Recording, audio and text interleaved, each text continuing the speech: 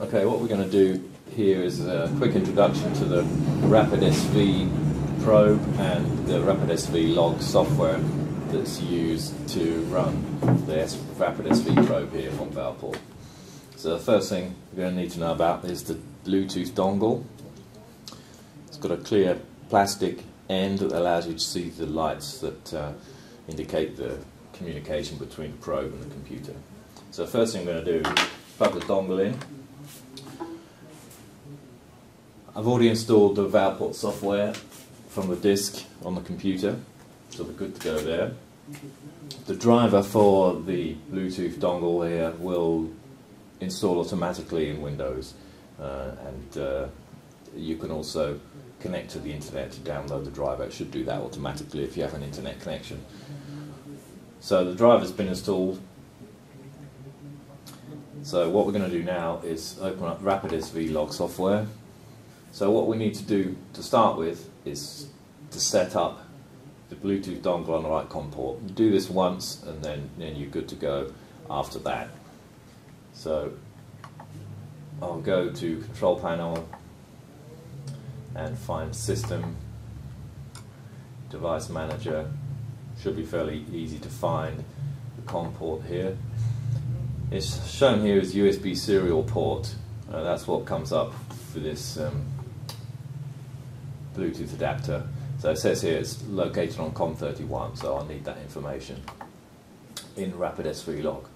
So first thing to do is select the COM port, and there you go, I've already been in there and selected it, COM31. You'll see there's a little dot next to the COM port if it's selected. If I wanted to change it to COM12, I'll click on it, and you see there the dot goes to COM12. So we'll put it back on COM31. First thing I'm going to do is set up the probe.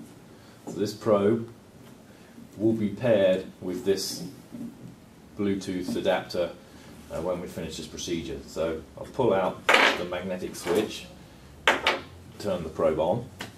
First thing we're going to do here on the menu is scan for rapid SV. So that's going to look for all rapid SVs in the environment and uh, register the, the rapid SV probe on this um, serial, Bluetooth serial adapter here. So I'll click that. You see the light here goes orange when it's scanning. You can see here it's found rapid SVT, so this probe's got sound velocity and temperature, and the serial number is 35912. And we can check that here on the probe. Serial number 35912. So it's already found it.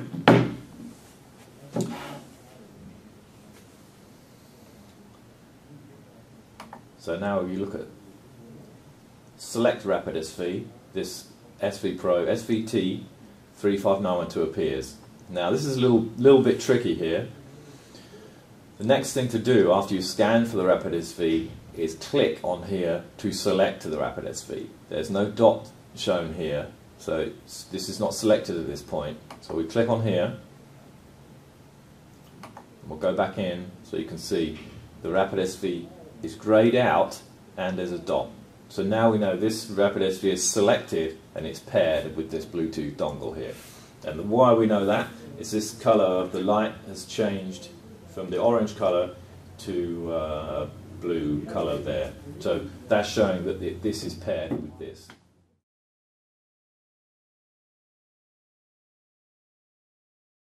Okay, so we've got nothing running on the computer.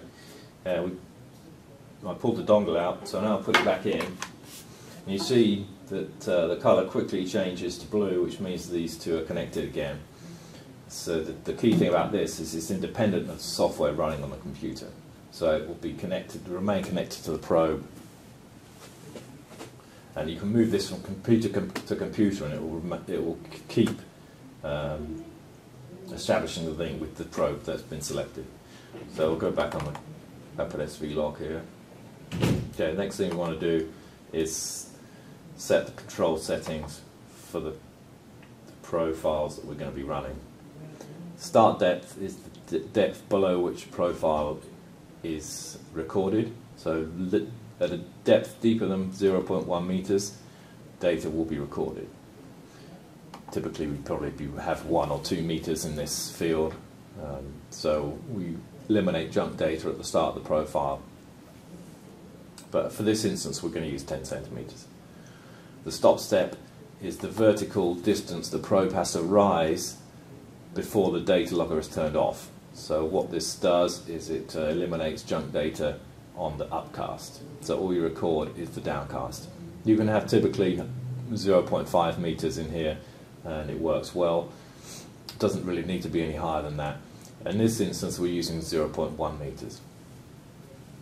interrupt timer, that's the time the software waits between interrogations of the probe and you'll get familiar with how to set this.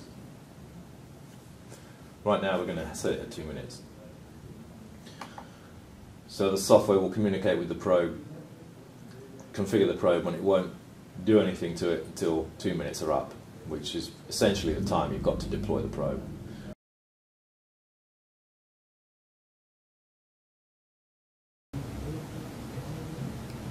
Okay, what we're going to do now is a simulated cast with the RapidSV probe and we're going to use the RapidSV log uh, to set up the probe and uh, get the data off the probe um, automatically.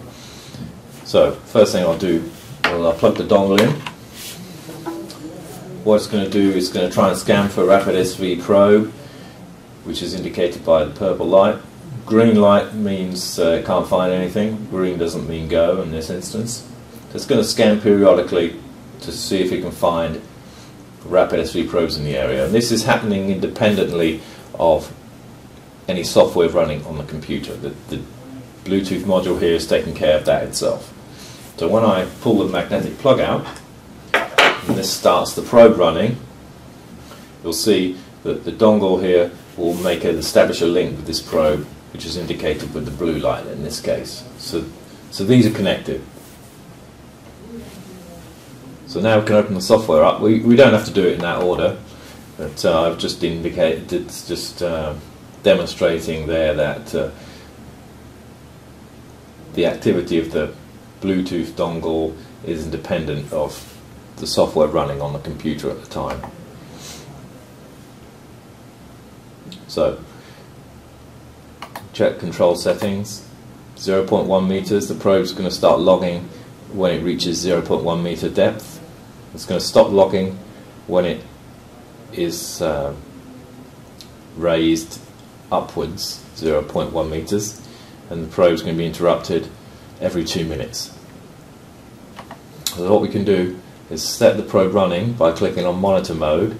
Firstly we just confirm here, select rapid SV, this is selected, the same serial number as on the probe, SVT 35912, so nothing will change unless we select on the rapid SV probe. This will stay linked to this probe here.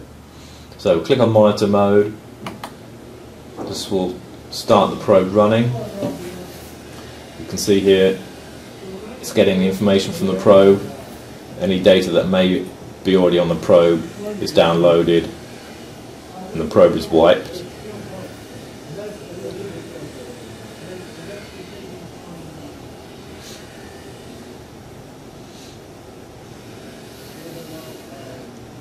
Takes a pressure reading in air, so make sure when you're doing this the probe is not you know, partially submerged or being affected by by any uh, splashing of water onto the pressure transducer. The memory's been erased, instrument running, green bar. So now we're ready to deploy the instrument. We've got two minutes to deploy it before that procedure occurs again. So what I'm going to do is drop the probe.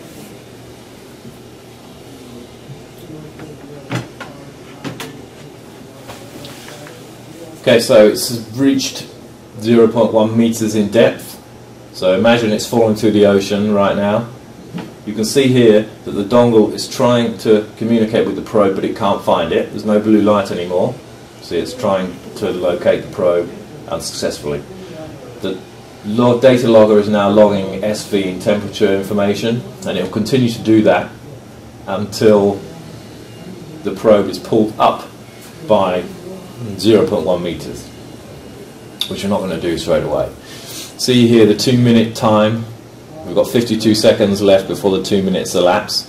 Now at that point, the rapid SV log is going to attempt to interrogate the probe to get the data off it. And what it's going to find is that it can't do that because the probe at this point is about 400 meters below the surface of the water. So I'll wait for that procedure to occur so you can see what it looks like. And then once it's done that, we can take the probe out of the water so we can take the data off.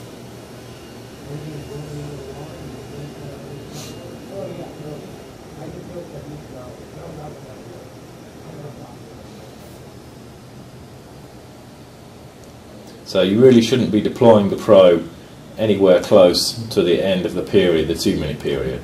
So when the bar is yellow, you should really be waiting until it turns green again so you can get make sure you get the probe out into the water before this interruption procedure starts occurring. So what's happening here is the Rapid SV log is trying to establish a Bluetooth connection with the probe, and it can't do that because the probe is right now about a thousand meters below the surface of the water. So it will continue to do this until the probe re-emerges. So this is not a problem at this point. The fact that the the um, software here is trying to interrogate the probe, it will keep doing this until the probe comes back into range. So what we're going to do now is pull the probe out when the probe's gone upwards by 0.1 meters, the Bluetooth antenna is going to be switched on, and then the data will be then available uh, for download onto the computer here.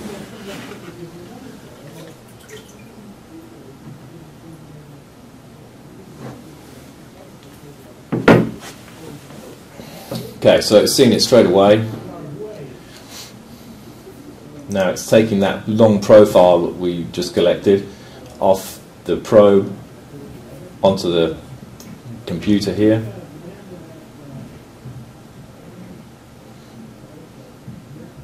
That was a fairly substantial profile. That would have been a, a very deep one, but still, it um, didn't take very long. All the data's off. The probe's being reset, and we'll very shortly see the green light again for the probe to be redeployed. So we can go do it again. Going to do a much shorter cast this time. So the instrument's running again. You'll see here that the Bluetooth connection has been severed because the probe's below 0.1 meters in depth. So what we're going to do is we're going to pull the probe out and simulate a much shorter cast. So the probe's coming back already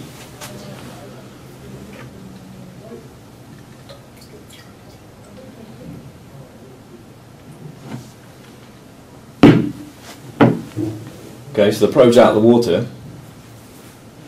Unlike last time, the data will not be automatically extracted because we haven't reached the two minute period.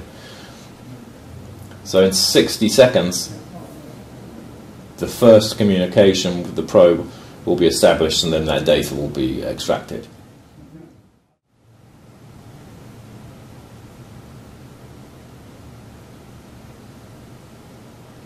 Okay, so trying to interrupt the instrument. Obviously the instrument's right here, so it's going to see it straight away.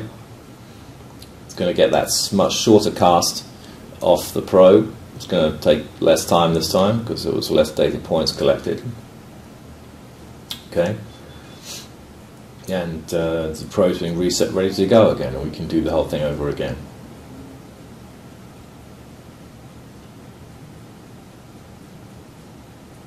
Okay, so instrument's running ready to go, and we can do another cast.